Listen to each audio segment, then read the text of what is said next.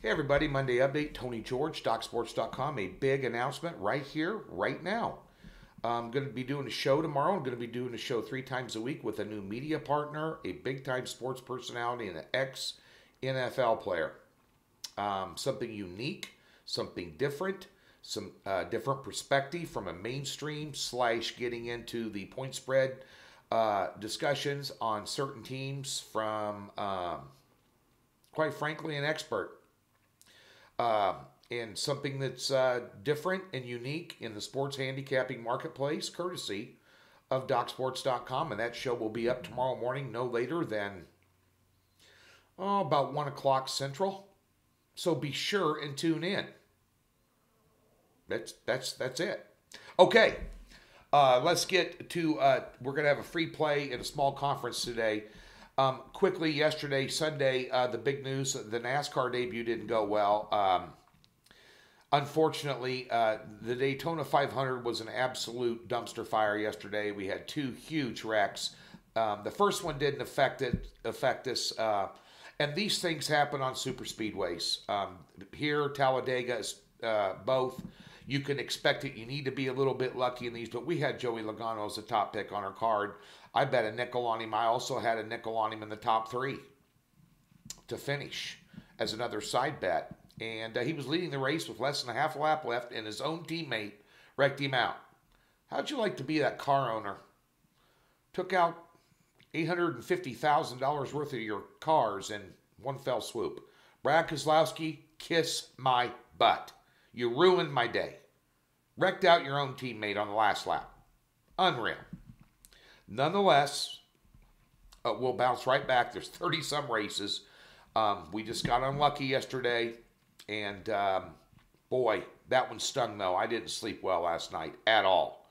I'm still a little ticked off this morning about it. Watched the video like 30 times. Just irritates the pee out of me. Damn it. Nonetheless, six unit winner on Michigan yesterday, winner in the NBA on uh, the San Antonio Spurs and we uh, went three and one in the AT&T Pebble Beach. We had Daniel Berger yesterday plus 110 over Patrick Cantlay. Not only did he whip his butt, he won the whole tournament.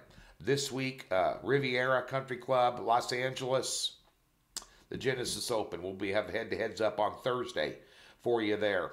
So tonight we have the uh, side pick uh, four unit solid play in the Florida State Virginia game, national TV game on ESPN, the biggest game of the day. Also have a four unit totals play in the NBA and a rock solid four unit side pick in the NHL after a pass yesterday. Let's go. You get a free 60 bucks and link in the description below. Get on board with Docs and take advantage of the uh, the free offerings. Get over the website and check out all the free stuff we got over there too. Tons of great information and stuff over there. And more free plays. You know, that's why you're here, right? Okay. Let's get to today's free play Ohio Valley action. This is a conference I follow well. Tennessee Tech taking on at home, taking on uh, Eastern Kentucky. Tennessee Tech is three and nineteen on the year. They don't have any offense. Uh, they're three and five at home. Usually in small conferences, you'll notice that teams, even weak sisters, always have a you know close to a home winning home record. These guys aren't even close; they can't score. Last time they played, uh, Eastern Kentucky beat them by 10 and put up 90 on them. Last three games, 93, 74, and 78 points scored for Eastern Kentucky here. They average 82 a game versus 64 a game for Tennessee Tech. And when you allow 60, when you allow 76 and only score 64, that's a recipe for disaster, evidenced by a 3 and 19 record. I have this game uh, at Eastern Kentucky, who was 16 and 5 and 10 and 4 in the conference. And uh, they're not going to overlook a weak sister here on the road, even though this is their fourth road game in a row. They're not going to overlook this team because they are vying for top spot in the conference.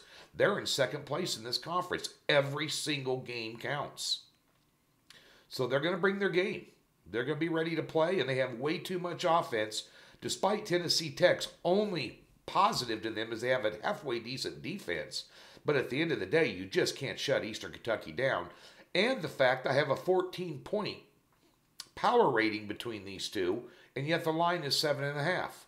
Give me Eastern Kentucky minus the seven and a half on the road tonight over Tennessee Tech in the Ohio Valley. That's your free pick.